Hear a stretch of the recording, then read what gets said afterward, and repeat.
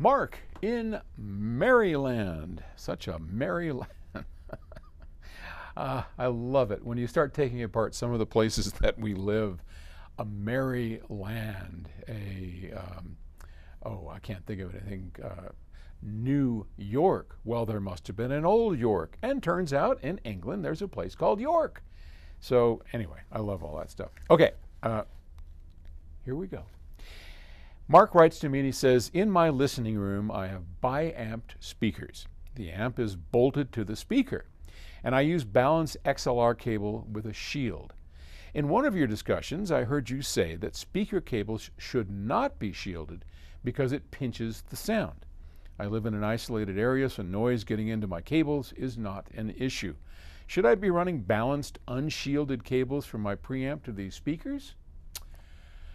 Okay, well, I have said, and will say it again, do not shield the speaker cables.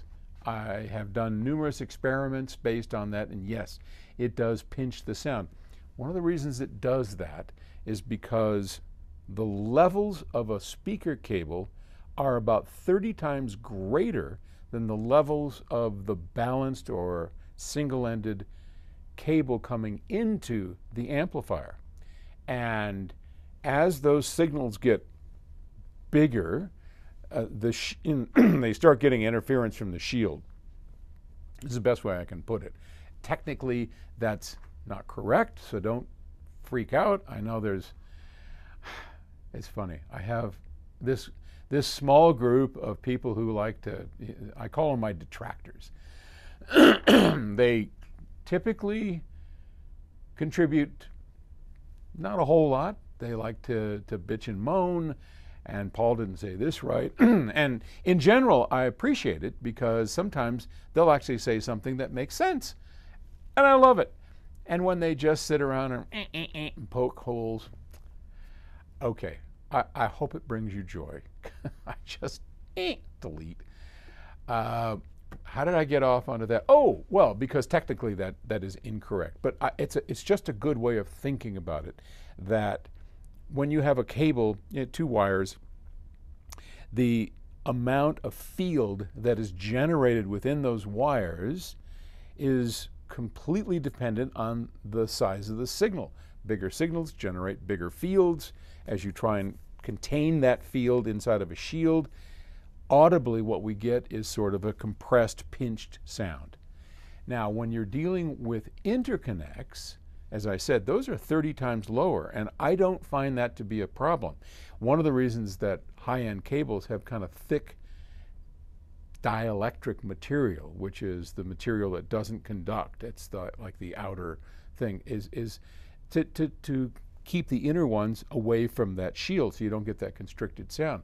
All that kind of makes sense because the signal is so low. And should you use an unshielded, balanced or unbalanced cable?